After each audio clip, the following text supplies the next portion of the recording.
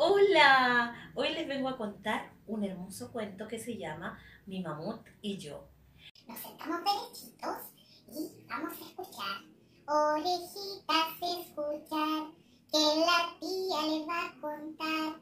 Un cuento para escuchar, bien sentadito me voy a quedar. El cuento comienza así. A la una, a las dos a las tres. Mi mamut y yo de Joel Stuart, editorial Norma. Me gusta hacer cosas, pero parece que las cosas que hago nunca me salen como yo quiero. Traté de hacer un origami, pero el cisne de papel quedó un poco extraño. También traté de cocinar, pero el pastel de cumpleaños de papá no resultó exactamente como planeaba. Incluso traté de tejer tal vez debía haber empezado con algo más sencillo que un par de guantes. Cada vez que intento hacer alguna cosa, sale algo diferente. Es muy decepcionante. Así que decidí conseguir un juguete listo para armar, con instrucciones y todo. No era posible equivocarse. Esta vez pero cuando terminé, era mucho más grande de lo que había imaginado y no se parecía en nada a la foto de la caja. Tuve que ponerlo en el cuarto de herramientas, porque en casa no hay espacio para un mamut. El mamut se veía bastante contento. Creo que le gustaban mucho las herramientas. Se escucharon los martillazos y los ruidos toda la noche. Yo tenía tanta curiosidad que no pude dormir, así que salí de mi cama y fui hasta la ventana.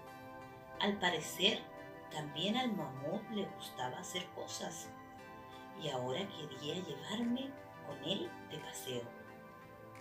No te preocupes, pensé cuando me encaramé a bordo montar en un mamut es como montar en una bicicleta peluda, me dije.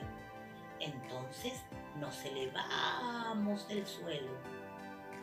No sentí miedo mientras planeaba sobre el pueblo, encima de un mamut volador. Después de un rato, incluso abrí los ojos.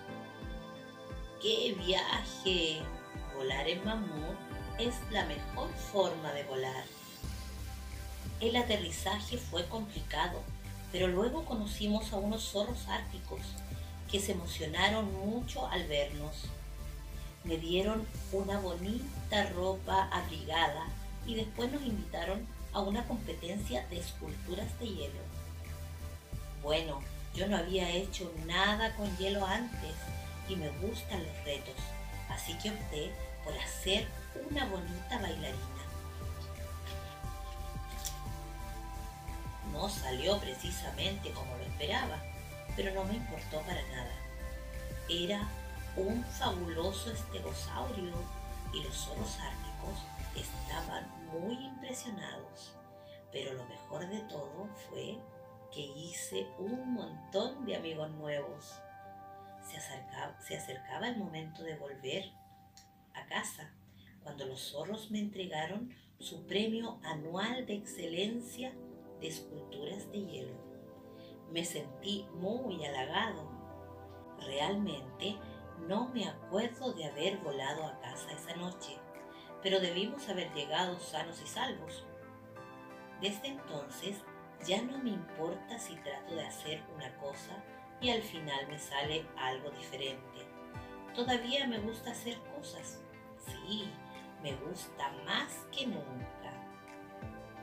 Y Kikiriki, el cuento llega hasta aquí.